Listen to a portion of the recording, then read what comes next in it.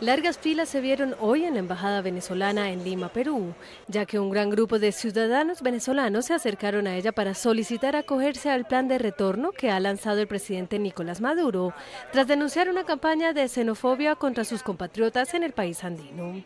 Según funcionarios de la Embajada venezolana en Lima, las personas que hasta el momento han solicitado acogerse a esa medida son unas 400, aunque F pudo constatar que en la sede diplomática había tan solo unas decenas, entre ellas varias que hacían otro tipo de trámite.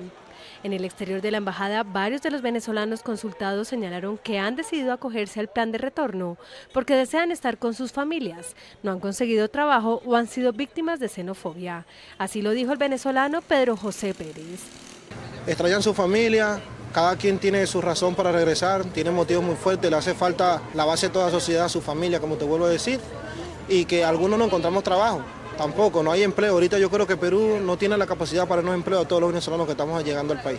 Maduro ordenó este lunes crear un puente aéreo denominado Vuelta a la Patria para el retorno de los venezolanos interesados en regresar.